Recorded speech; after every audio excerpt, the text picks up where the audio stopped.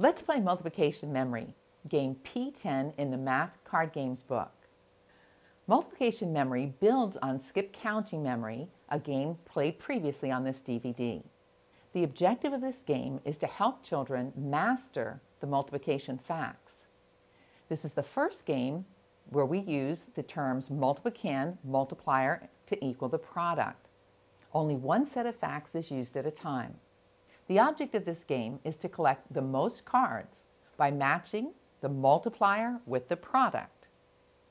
In order to play the game, you need one set of basic number cards from 1 to 10 and one skip counting envelope with the pattern on the envelope and the blue product cards within.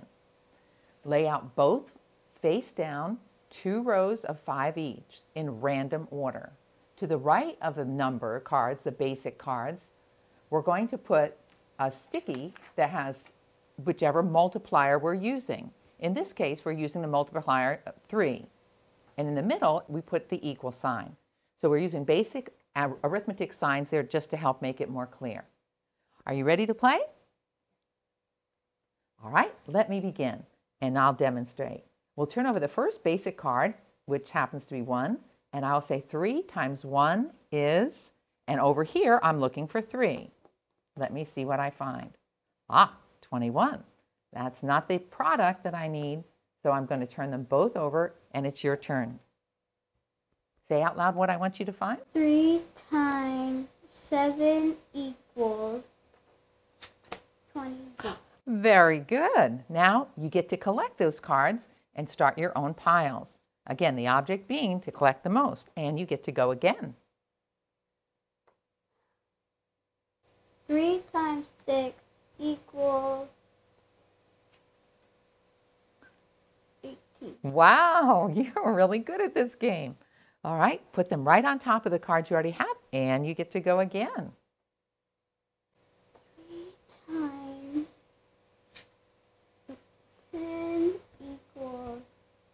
Wait, wait, wait. Oh, sorry. Before you may look, you have to tell me what you're looking for.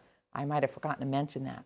So 3 times 10 is? 30. 30. Now, what did you find? 6. All right. And what would that be? 3 times 2. Very good. All right. And we'll just turn those back over. And now it's my turn since you didn't get what you wanted. I'll turn 3 times 1 is my answer is three, and I found three, so I get to choose those cards. Three times nine is 27.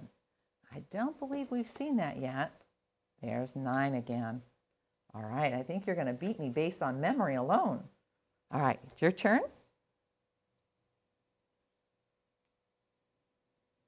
Say out loud what you're doing. Three times three equals. Equals what? Um, nine. Very good. And you found what you want, so you get to keep those cards. Play continues until all of the cards are used.